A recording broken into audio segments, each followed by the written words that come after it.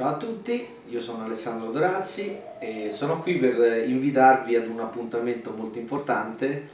il 5, il 6 e il 7 giugno di quest'anno per il ventennale dell'Associazione Culturale Torraccia che io presiedo già da qualche anno. Che cos'è l'Associazione Torraccia? È un'associazione nata nel 1995 un gruppo di amici si ritrova intorno a un vecchio casale di fine 800, lo rimettono a posto e anno dopo anno fanno eventi, fanno cose, sempre intorno al mondo del volontariato. E quest'anno noi vogliamo diciamo, fare questa manifestazione con un tema eh, molto bello che è la gioia di stare insieme. E quest'anno abbiamo deciso anche di invitare il sindaco Ignazio Marino a partecipare proprio la mattina del 6 giugno. Ci sarà la fanfara della polizia, sarà una giornata molto bella e alcuni nostri ragazzi sia della scuola di musica che dell'associazione hanno preparato un cortometraggio dove faranno vedere la storia appunto l'evoluzione di questo, di questo antico casale da come era nel 95, da come è stato prelevato e poi da come, come è diventato oggi.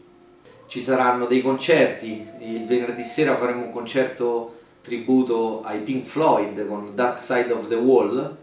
e sabato sera invece ricorderemo Pino Daniele con un grandissimo gruppo che viene da Napoli che si chiama Quanno Good Good